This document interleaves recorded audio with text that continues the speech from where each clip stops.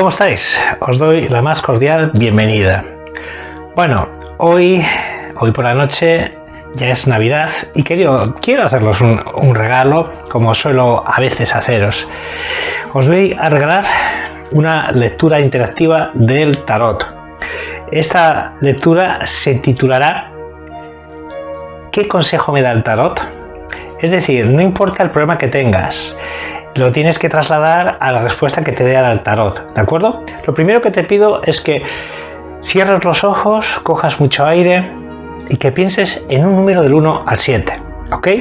Y una vez que tengas el número, piensa en el problema que quieres resolver, ¿ok? Comenzamos. Piensa en un número del 1 al 7. Ojos cerrados, respirando, y piensa en ese problema que quieres solucionar. Bien, vamos allá. Si has pensado en el número uno, la carta es el diablo. La carta del diablo para tu problema dice que sea el problema que tengas, material, sexual o el que sea, esta carta habla de que estás demasiado eh, imbuido en lo terrenal. Tu ego te está manejando tu vida. Te has alejado de las cosas que tanto te gustaban, te estás alejando de lo espiritual, te estás alejando de, las cosas eh, eh, poéticas, del amor, de la belleza. Esta carta, el consejo que te da, cuando aparece el diablo, habla quizá de que estás atado, encerrado a ti mismo. El diablo son las tentaciones, es el ego, lo material, por tanto, hay que reaccionar y entender que aunque somos cuerpo, también somos espíritu. Esta carta viene a recordarte que tienes que buscar lo espiritual. Busca libros de autoayuda, busca que te hagan reiki, busca temas de ángeles. Eh, sal de la dinámica terrenal en la que has caído. Este es el consejo que te da la carta del diablo. Si has pensado en el número 2, la carta es el Papa o el sumo sacerdote. El Papa te dice que cuando tienes un problema como el que tienes, por más que trates de resolverlo, tú solo no vas a poder. Eh, el Papa te dice que busques un consejero. No sé qué problema tendrás, pero puedes buscar un abogado, un psicólogo, un experto en cuentas o en el problema que tengas. Lo cierto es que dice que en la situación que estás eh, tienes que buscar a alguien que entienda del tema que tú tienes, del problema que tú tienes. A veces nos cerramos y no queremos pedir ayuda, a veces por cabezonería o a veces por ahorrarnos dinero. ¿Cómo me he gastado yo dinero en pagar a un abogado o un psicólogo o lo que sea? Pero a veces merece la pena. Para ello, los consejeros estamos para ayudar eh, a personas en lo que somos expertos. Así que el Papa dice, busca a alguien que te ayude experto en ese problema que tú tienes.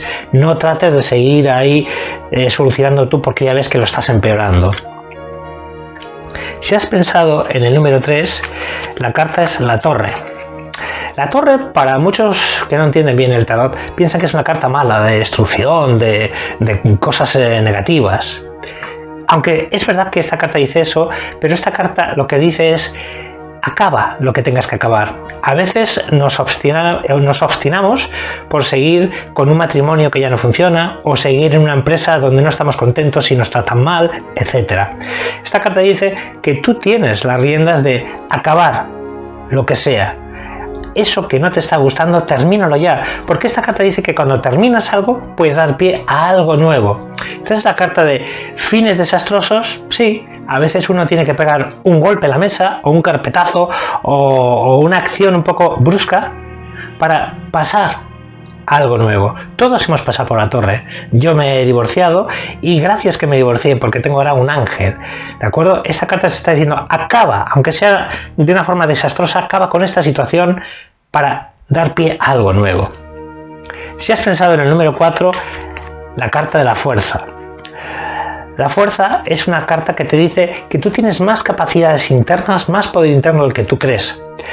Quizá tu frase sea yo ya no puedo más, esto me está pudiendo, estoy agotado o agotada, pero la carta de la fuerza dice tú tienes más poder del que crees. Tienes cualidades ocultas que tienes que sacar. La carta de la fuerza aparece cuando eh, una persona se deja creer cosas o de otros o del propio ego. El ego te dice, ah, déjalo, tú ya no puedes más, estás hundido hundida. No, la carta de la fuerza habla tu espíritu, tu espiritualidad, tu ser divino. Y la carta de la fuerza te dice, tú sí puedes, tú tienes más poder del que crees. Solo tienes que creer en ese poder. La carta de la fuerza te dice que no tires la toalla, que eso es lo que el ego te quiere hacer creer. Porque si aguantas un poco más de tiempo, esta carta te dice que tendrás frutos de ese, de ese esfuerzo y de ese aguante que has tenido. Si has pensado en el número 5, la carta es el ermitaño. El ermitaño es la carta del ser espiritual que se retira a buscar la luz, esta lamparita que veis aquí que lleva en la mano. En el problema que tengas, no tomes ninguna decisión ahora porque puedes errar. La carta del ermitaño te dice, retírate, incluso si puedes físicamente. No estaría mal si puedes hacerte un retiro espiritual lejos unas semanas o unos meses. Cuando aparece esta carta es porque hay decisiones quizá trascendentales que tienes que tomar y no las puedes tomar a la torera. De todas maneras, también esta carta es indicativo de un despertar espiritual, de una persona que está buscando la luz. Es un indicativo de que sí, este es el momento de que busques la luz y el entendimiento. La carta del ermitaño es una carta de reflexión, pero no de reflexión de lógica, sino de meditación interna, de pararnos, parar tu vida un poco y decir, ¿quién soy? ¿Qué hago aquí? ¿Cuál es mi misión? ¿Para qué he venido? ¿Qué estoy haciendo con mi vida? Es el momento de parar y reflexionar. Eso dice el ermitaño. Si has pensado en el número 6, la carta es el emperador.